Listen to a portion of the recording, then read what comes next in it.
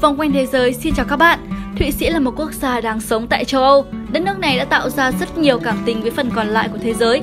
Đẹp như phong cảnh Thụy Sĩ, an toàn như ngân hàng Thụy Sĩ, chính xác như đồng hồ Thụy Sĩ, hạnh phúc như người dân Thụy Sĩ. Những con người cần mẫn tại xứ sở này cũng có những ý tưởng mà đôi khi là không một đất nước nào có được, hoặc là nếu mà có được thì cũng chẳng thể làm được. Bạn đã bao giờ nghĩ về việc 9 triệu người dân Thụy Sĩ đều được trang bị hầm an toàn trong trường hợp xấu nhất là có bom hạt nhân hay không? Bạn không nghe nhầm đâu và đây là một góc nhìn khác về đất nước Thụy Sĩ. Cần phải nhắc lại Thụy Sĩ là một quốc gia không giáp biển, có tổng diện tích là 41.285 km vuông, một con số rất là khiêm tốn. Về địa lý khu vực ấn tượng nhất của Thụy Sĩ được nhắc đến rất nhiều, đó chính là dãy núi Alper. Trải qua hai cuộc đại chiến thế giới, Thụy Sĩ luôn trung thành với chính sách trung lập của mình. Sau khi ở Mỹ và Liên Xô thử thành công những quả bom nguyên tử của mình vào những năm 40, những năm 50 của thế kỷ trước, Thụy Sĩ nhận định rằng trung lập không phải sự đảm bảo trước nguy cơ chiến tranh hạt nhân.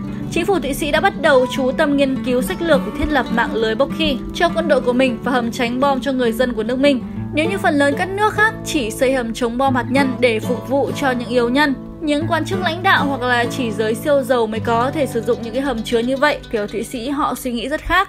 Năm 1963, Thụy Sĩ đã thông qua điều luật trong các công trình xây dựng của đất nước này thì phải có hầm tránh bom hạt nhân, một điều luật được coi là cách mạng về xây dựng. Vì vậy mà không phải Mỹ cũng chẳng cần phải Liên Xô ở thời điểm ấy, mà chính Thụy Sĩ, quốc gia nhỏ bé nằm trên dãy Alper hùng vĩ của châu Âu, mới chính là nơi có hệ thống hầm tránh bom hạt nhân lớn nhất trên thế giới.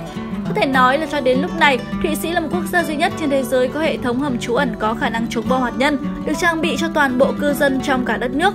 Mặc dù là họ sẽ không bao giờ phải dùng đến theo đúng mục đích của mình và không bao giờ mong muốn dùng đến ít nhất là đến thời điểm này. Ở trong điều 45 và điều 46 của luật bảo vệ dân sự Liên bang Thụy Sĩ có quy định như thế này. Mọi người dân phải có một nơi an toàn để có thể di chuyển từ nơi mình cư ngụ đến đó một cách nhanh chóng và những chủ sở hữu chung cư cần xây dựng và tu bổ những nơi trú ẩn cho tất cả những người đang sống trong chung cư. Đó là lý do tại sao những ngôi nhà xây dựng năm 1963 của Thụy Sĩ đều được trang bị hệ thống hầm đặc biệt này. Trong thời kỳ cao trào chiến tranh lạnh, rất là nhiều bốc khí của quân đội Thụy Sĩ được trang bị thêm khả năng chống chọi từ những cái cuộc tấn công hạt nhân. Một số bốc khí có tính năng đặc biệt này ngày nay đã được bán cho tư nhân.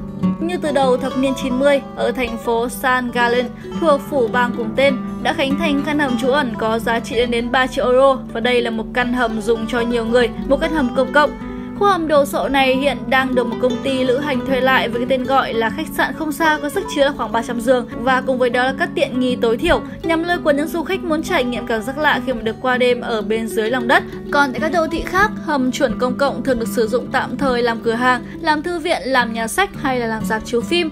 Nhưng mà khi có biến chẳng hạn, chỉ trong vòng 24 giờ đồng hồ là chúng lại trở lại với công năng ban đầu của mình, đón tiếp những người dân đến đây trú ngụ hàng tuần liền trước thảm họa hạt nhân.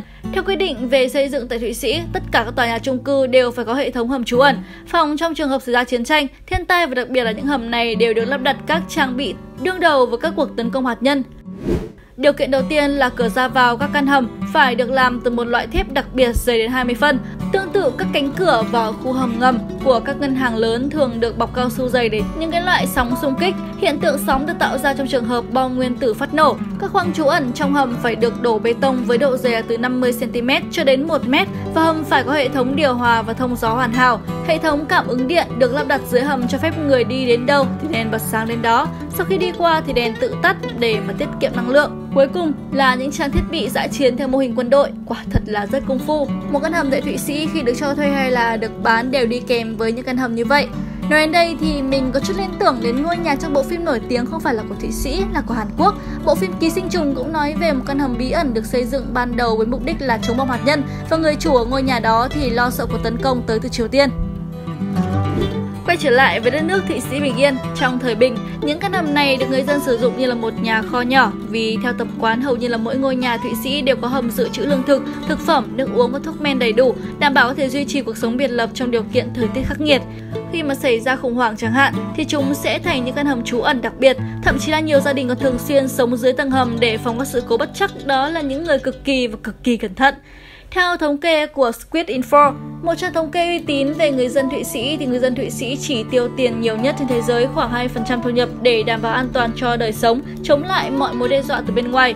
Trong số đó thì khoảng 130 triệu đô la Mỹ do tư nhân chi trả và số còn lại thì là do nhà nước Thụy Sĩ đảm nhiệm. Để mà xây dựng một hầm trú ẩn hạt nhân tại nhà riêng thì tốn khoảng 10.000 đô la. Người dân có nhà riêng bắt buộc phải xây dựng một hầm trú bom kiên cố. Đó là những công trình mà phục vụ cho dân chúng mà thôi. Còn công trình ở tầm quốc gia, ví dụ như là công trình có tên là K20. K20 là mật danh của một công trình hầm ngầm quân sự. Nó được khởi công xây dựng trong thập niên 1980. K20 nằm trong vùng núi quanh năm tuyết phủ ở độ cao là 1.200m so với mực nước biển. Hệ thống K20 dành riêng cho giới lãnh đạo, viên chức cao cấp ở trong chính phủ Thụy Sĩ. Trong trường hợp mà đất nước này bị tấn công hạt nhân, toàn bộ lãnh đạo bao gồm các thành viên quốc hội cũng như là các đội cố vấn, các trợ lý sẽ được di tản cấp tốc tới đây. K20 có diện tích sử dụng tương đương một tòa nhà lớn với sức chứa hàng trăm người, tích trữ khối lượng lương thực và nhu yếu phẩm đảm bảo cho dân cư đặc biệt là có thể sống và làm việc trong thời gian là từ 5 cho đến 6 tháng. Thoạt trong bên ngoài thì K20 cũng giống như là bao hầm ngầm công cộng khác nhưng mà cổng vào chính là một bãi đậu xe rộng mênh mông dành cho những nhân sự phục vụ bộ máy kỹ thuật và hành chính. Mọi nhà ra đều được kiểm tra bằng hệ thống máy quét nhận dạng sinh học, quét mống mắt tích hợp để kiểm tra về mã số nhận dạng cá nhân được cơ quan an ninh liên bang cấp cho từng đối tượng được phép ra vào khu vực đặc biệt này. Để mà chính phủ liên bang có thể điều hành đất nước trong điều kiện thời chiến, các tầng bên dưới công trình K20 được thiết kế riêng biệt cho mục đích duy trì thông tin liên lạc, phát thanh và truyền hình, bao gồm cả những phòng họp và các thống đốc bang và các truyền hình thông qua các kênh mật mã. Được biết là K20 trên lãnh thổ của Thụy Sĩ còn có vài công trình tương tự, mỗi hầm trú ẩn đồ sộ này thì đều có giá trị cực kỳ lớn.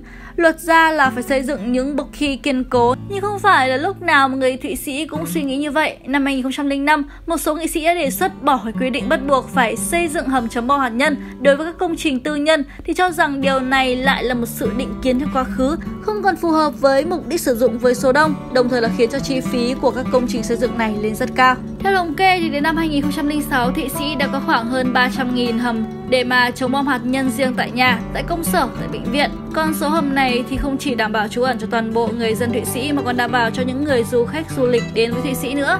Khi nào thì người Thụy Sĩ vẫn còn tiếp tục xây nhà thì số hầm ngầm vẫn còn tiếp tục tăng lên. Ước tính rằng chi phí để bảo trì những căn hầm này ở đất nước Thụy Sĩ tương đương với 180 triệu đô la Mỹ một năm và tổng giá trị của hệ thống hầm trú bom hạt nhân này ở tại Thụy Sĩ là vào khoảng 13 tỷ đô la Mỹ.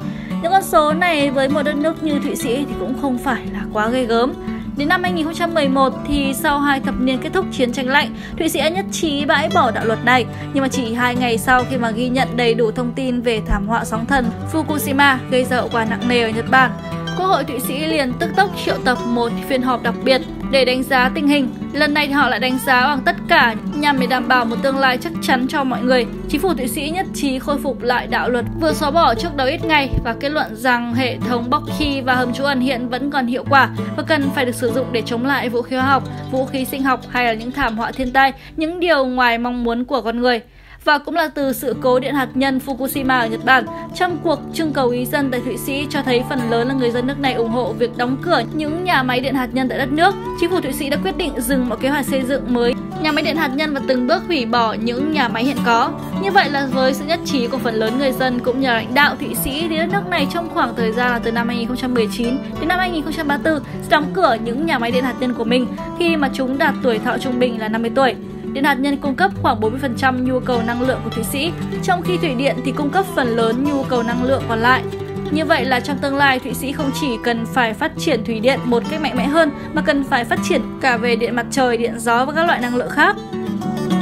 Cảm ơn các bạn đã quan tâm theo dõi câu chuyện này. Nếu cảm thấy thú vị thì đừng quên nhấn nút đăng ký kênh, bật chuông thông báo và chia sẻ. Mỗi ngày vòng quanh thế giới sẽ công chiếu hai video mới vào lúc 11 giờ và 19 giờ hàng ngày. Các bạn nhớ dành thời gian để đón xem nhé. Còn bây giờ xin được gửi lời chào tạm biệt và hẹn gặp lại.